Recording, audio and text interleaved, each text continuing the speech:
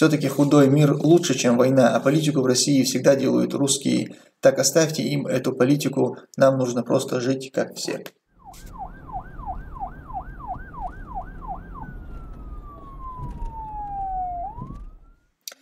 Ассаламу алейкум. Мне вот что интересно в том, что в, одной, в одном из эфиров ты говорил о Грузии и протестах, проводил параллели и о том, в чем разница между грузинским народом и нашим. И на этот эфир отреагировал наш земляк и попытался выразить свое возмущение по поводу твоего стыда за наш народ.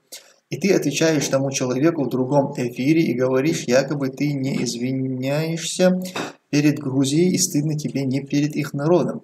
Ты почти весь эфир сравниваешь наши народы и говоришь, что если бы наш народ до, дорос типа до грузинов, и если бы также вышли...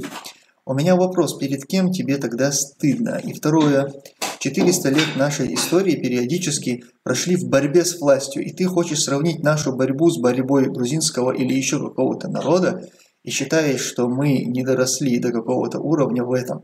Ивар Сон. Так, итак, твой первый вопрос, как я понял, а, перед кем мне все-таки было стыдно, да? Перед кем тебе все-таки было стыдно? Отвечаю тебе на этот вопрос, без, давай, не буду комментировать все то, что ты ранее объяснять, это твое видение, я лишь тебе одно скажу, я и на прошлом эфире сказал, отвечать я могу только за свои слова, а не за то, что кому-то показалось, не за анализ какого-то человека, которого он сделал из моих высказываний, нет, я отвечаю только за свои слова. Вот как я их сказал, за это я отвечаю. Перед кем мне стыдно? Дело в том, что стыд – это такое же, такое же чувство человека, как радость, как э, там, любое другое чувство. И и это чувство, оно само по себе, то есть человек не должен это делать перед кем-то. Он это делает сам по себе. То есть тебе, вот я, я сказал в этом же ролике, я сказал, мне очень радостно за вас. Почему-то ни у кого не возник вопрос, перед кем тебе радостно? Никто ведь не спрашивает. Перед кем, Тумсо, тебе было радостно? Да не перед кем. Это обычное чувство человека, ему радостно. Точно так же, как ему бывает радостно, ему бывает также стыдно, ему бывает грустно, ему бывает весело. Это чувство человека. Они не должны перед кем-то э, быть, эти чувства, возникать перед кем-то. Не перед китайцами, не перед японцами, не перед чем. Просто человеку эти чувства возникают. Если уж э, вам, людям, которые так мыслят и считают, что стыд должен именно перед кем-то быть, то я а, вам предлагаю, чтобы ваш стыд был не перед грузинским народом или а, иным каким-то народом, а пусть этот ваш стыд будет перед вашими теми сам, самыми предками, которые, о которых ты далее в своем вопросе указываешь, что 400 лет они воевали, достойно умирали. Перед ними пусть тогда вам будет стыдно. Вот перед кем вам нужно стыдиться. Понимаете? Я убежден, что лет 20 назад, если бы вы кому-нибудь из людей, живших буквально 20 лет назад, рассказали бы о вот этом положении, в котором мы сегодня находимся, что будут убивать наших э, людей, и мы будем их молча хоронить и дальше продолжать свою жизнь, как ни в чем не бывало, ходить на работу, на базар, и, и как будто бы и не, как будто мы и не растили этого своего сына 20-25 лет, и как будто бы его и не убили то вам бы, ну, в лучшем случае не поверили бы. В худшем, может быть, даже э, ну, отругали бы, побили бы, может быть, понимаете? Вот перед ними тогда постыдитесь. А я, как я говорил, я ни перед кем не выражал ни чувства радости, ни чувства стыда. Я говорил о, о своих чувствах. Я говорил, что мне радостно, я говорил, что мне стыдно. Что касается второго вопроса, 400 а, лет нашей истории периодически пошли в борьбе с властью, и ты хочешь сравнить нашу борьбу с борьбой грузинского или еще какого-то народа, и считаешь, что мы не доросли до уровня в этом. Нет, когда я сделаю ролик и буду сравнивать, вот тогда мне нужно будет задать этот вопрос. Томсо, ты сравниваешь а, борьбу там, такого-то народа и нашего, но я не сравниваю. Я никакую борьбу не сравнивал. Я сравнивал сегодняшний день конкретный, вот сегодняшний день, я сказал, что сегодня мы хороним и молчим, и продолжаем дальше жить, а там хоронят, выходят и меняют положение. И, кстати говоря, буквально вчера, по-моему, а, премьер-министр Грузии подал подставку. Это результат вот этой а, акции, которую устроил грузинский народ.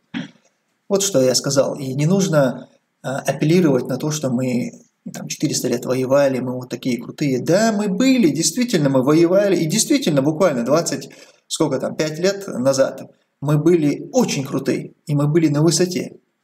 Но из-за того, что мы тогда были на высоте, сегодня это нас не отмазывает. Сегодняшнее наше бедственное положение это никак не оправдывает, понимаете? Это, знаете, подобно чему? Вот как наркоман есть, вот человек, который сегодня находится вот в ужаснейшем положении, он наркоман, он колется, он продает все из дома, ворует, чтобы себе на одну дозу э, денег там найти. И находится, у него все уже здоровье, у него никакое, он э, доходяга, буквально вот скоро умрет. Но буквально там лет 15 назад он был чемпионом мира там, по какому-нибудь виду спорта, мощному, там, по боксу, по UFC, там, я не знаю, какой-нибудь чемпион он был, понимаете? И ты к нему приходишь, говоришь, слушай, ну у тебя очень а, плачевная ситуация, тебе реально нужна помощь, тебе не стыдно, давай завязывай там, давай тебя в реабилитацию куда-то. И он тебе отвечает, да я 15 лет назад был чемпионом мира. Да кому от этого легче, от того, что он был? Сегодня у него ужаснейшая ситуация. Сегодня ему нужна помощь. И вот эту ситуацию сегодняшнюю нужно ему менять. И не нужно апеллировать на то, что было 15, 20, 300 лет назад. От этого мы, понимаете, лучше наше сегодняшнее положение не станет. Фонд имени Героя России Кадырова задает вопрос. Ассаламу алейкум, пани Тумсо. Я смотрю, ты очень хорошо себя в Сирии, в его Сирии себя хорошо чувствуешь. Помощь и донаты получаешь. Очки красивые и суперкар купил себе. Но ты забыл, что надо платить шефу. А, а то надо в Центрове плитку поменять. Валейкум ассалам. Фонд имени героя. Писал мне Артем Терек. Тумсо, нам нужен мир. Оставьте эти разговоры, они ни к чему хорошему не ведут. Что мы приобрели в результате этих войн? Кроме того, что потеряли цвет наций самых лучших, самых отважных, самых сильных и, главное, самых умных мы потеряли из-за этих войн. А что взамен? Ничего, мы все там же, в России. Так стоило ли это таких жертв? Я убежден, что нет. Все-таки худой мир лучше, чем война, а политику в России всегда делают русские так оставьте им эту политику, нам нужно просто жить как все. Я не, не могу, конечно, не согласиться, что стоит, стоит это тех жертв или не стоит. Я думаю, что жертв вообще ничего не стоит. Что жертвы это как бы очень высокая цена. Но в то же время я не могу сказать, что это того не стоило. То есть это такой момент, знаешь, я не могу сказать, что это и стоит этого, и не могу сказать, что это не стоит. То есть э, Понимаешь, если я скажу, что это того стоит, это будет неправильно с точки зрения, как будто я там не ценю жизнь. Если я скажу, что это того не стоило, то я как будто бы эти подвиги, да, то, что было, эту войну, как будто бы я ее не, не ценю, как будто бы, знаешь, ну, я не знаю, как на такой вопрос ответить, стоило это того или не стоило.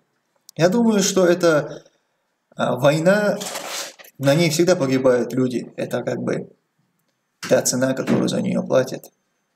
И